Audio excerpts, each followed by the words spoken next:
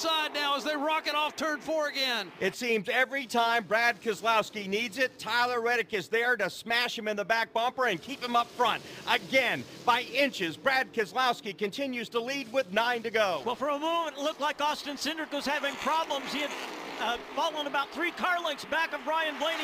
Now he gathers it back up, and he'll try to push his teammates. Two by two by two, all the way back for 20 some car lengths as they move into turn three once again. The battle for the lead, door to door, side by side, Ford versus Ford. The last few laps, it seems like Brad Keselowski is a tick faster off the exit of four. Once again, he beats Logano back to the line by just a couple of feet. I think Joey is going to need to clear him if he's going to win this race because Brad has off both two and four had the stronger car with that momentum up, the, up on top. Neither of the two cars that trail, the two leading cars, seem to be able to help enough to push one or the other out in front. Logano, the fender out in front of Logano, or out of, uh, of, of, of Keselowski all four. Seven laps to go. Bubba Wallace drops to the apron to get out of the way. At the line, this time it is still Keselowski, the gap five thousandths of a second. Blaney for a moment looked like he was going to try to make it three wide. He stuck his nose in there, but there was nothing for him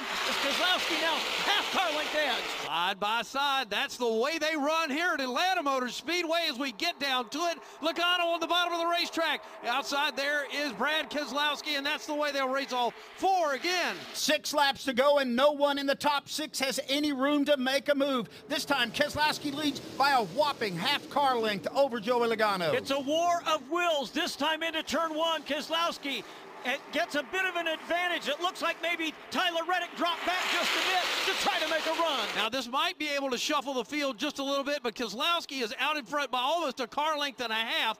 Well, Logano backs off a little bit, maybe trying to get and save up for a run. And here he comes, bottom of the racetrack. Five laps left at Atlanta. Don't go anywhere. This one's going down to the wire. Keselowski, Reddick now, one and two. Has Joey Logano used up his tires? He's now fallen back to the fourth position. Or is he just getting ready for one final push to try to get to the front as he runs door to door with Seabell? I think that's what you're talking about, Rob. Right now, out front, Keselowski down the backstretch. Tyler Reddick right in his tire tracks. Up above there is uh, Christopher Bell. Here comes Logano again on the bottom of the racetrack with the bottom lane. Four laps to go. Keselowski leads. Tyler Reddick rides a solid second. The battle is now for third. Actually, Christopher Bell takes third away from Logano. Here comes Denny Hamlin. Ryan Blaney gives a shot to his teammate Joey Logano, pushes him forward. He leaves back around Hamlin off of turn two. You got to wonder what's going through Tyler Reddick's head right now as they race down the backstretch. Christopher Bell trying to give him a shove, runs him right up to, to the back of the leader. Here comes Keselowski once again. Logano is not done. He is dealing with it on the bottom of the racetrack. Tyler Reddick has been Brad Keselowski's friend. He is now his foe with three to go. He tries to track Keselowski down in turn one. Fourth is Denny Hamlin as he's, he's slightly ahead of Logano, but Logano battles back. Hamlin uh, showing a bit of impatience with his teammate Christopher Bell, who's right in front of him. It's Keselowski out front. It's Reddick right behind him and Christopher Bell. Logano is doing everything he can at the bottom of the racetrack, but he's running out of time. What will Tyler Reddick try to do with the leader off turn four? Will the Toyotas of Christopher Bell and Tyler Reddick gang up on Brad Keselowski? Two laps to go. It's Keselowski, Reddick, Bell, and in fourth right now, Denny Hamlin. Less than half a car length advantage for Brad Keselowski.